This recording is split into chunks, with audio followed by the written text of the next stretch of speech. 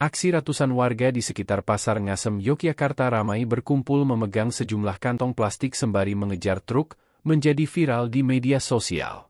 Bukan berisi barang belanjaan, kantong plastik yang dipegang para warga itu berisi sampah rumah tangga yang hendak dibuang.